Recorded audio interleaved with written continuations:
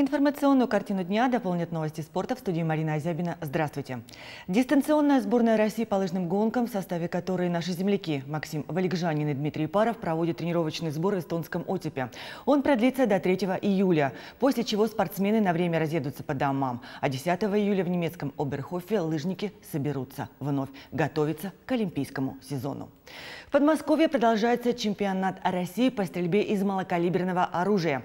В копилке сборной Удмуртии есть еще одна медаль. На всероссийских соревнованиях, которые проходят в рамках чемпионата, Юлия Каримова и Андрей Коньков выиграли бронзовую медаль в смешанной командной стрельбе из пневматического оружия.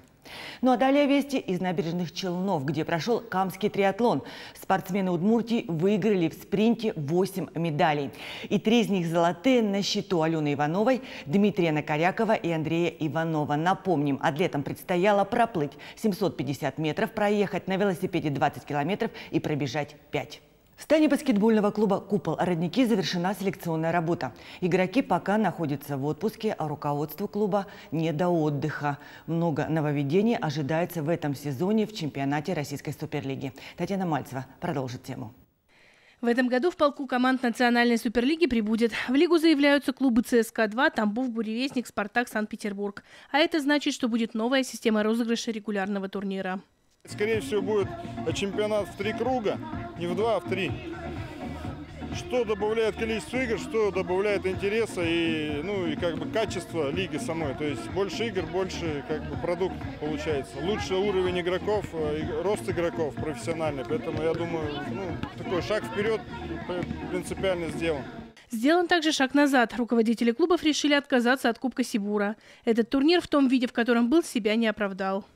Практика показала, что он как бы, ну, не, не, не, не, не отражает реальной картины, нарушался спортивный принцип в том плане, что мы э, одержали побед больше, чем МБА, предположим, в итоге они оказались выше нас по результатам там кого-то. Ну, э, поэтому на Совете Лиги было принято решение эти кубки не играть. Что касается самого клуба «Купол Родники», комплектование команды завершено. Ушли Самсонов, Трубин и Петухов. Им на смену пришли Юдов, Абдулбасиров и Назмуддинов.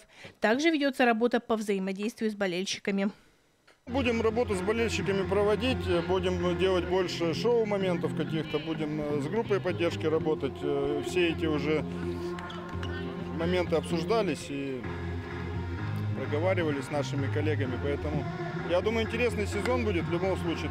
А сейчас кто-то отдыхает на югах, кто-то проводит время здесь, в Ижевске, участвуя в социальных акциях. Мне очень нравится проводить время на уличной площадке. Это беззаботно, весело, Э, получаешь кайф от этого. Вот действительно кайф. Давай к нам. Другим новостям. В Крутом Лагу состоялся автокросс «Курская дуга», в котором приняли участие 76 спортсменов из разных городов России.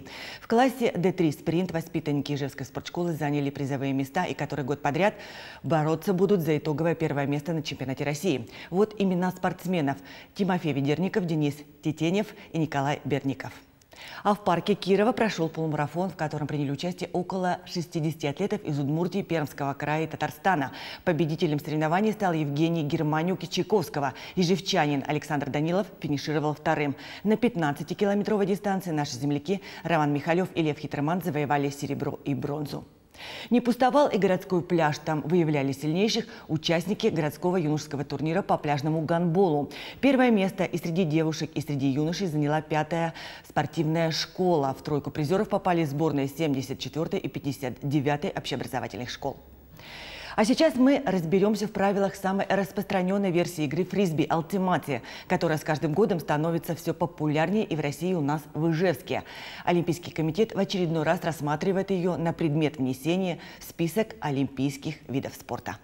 Для этой игры подойдет любая площадка – на пляже, стадионе или в парке. Еще нужны единомышленники – человек 10 и сама летающая тарелка – фрисби. Из экипировки только футболка, шорты, кроссовки. Можно и босиком. Правила игры простые и доступны. Смысл заключается в том, что есть игровое поле, есть голевые зоны, и нужно, передавая диск друг другу, а, поймать в зоне соперника, то есть занести очко. Во-первых, это пляж, песок, а, отдых на солнце, а, бег, любимый спорт, друзья. То есть хорошая команда, тренировка, физические нагрузки, погода. Судей в ультимате нет, и это его особенность. Все держится на доверии и честности соперников в соответствии с правилами фейерплей. Это уникальность такая нашего спорта в том, что здесь нет судей, здесь а, все спорные конфликтные моменты а, решают сами игроки между собой. Здесь постоянно происходит общение. И есть такое понятие, как дух игры, и даже по итогам турниров там выставляются оценки за дух игры и вообще выиграть дух игры по итогам турнира – это очень престижно. Играть может любой человек, независимо от возраста и физподготовки. В Ижевске поклонников фрисби сегодня уже несколько сотен. Есть и своя команда. Ее ребята, кстати, готовятся к Кубку страны. Пройдет он в Казани. Уровень игры э, очень высокий, топовые игроки, топовые команды. В основном это сборники, ну, то есть те, кто за сборную России играют.